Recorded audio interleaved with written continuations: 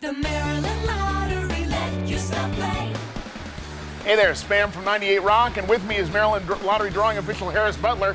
Tonight's multi-match jackpot has an estimated annuity of $1,800,000. And your multi-match numbers for this Thursday, April 9th are 12, 33, 22, 30,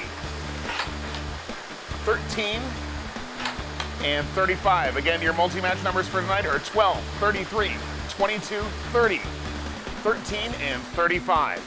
No one matches all six numbers on any one line of a ticket. The multi-match jackpot climbs to $1,900,000. Next drawing Monday night at 11:22 here on WBAL TV 11.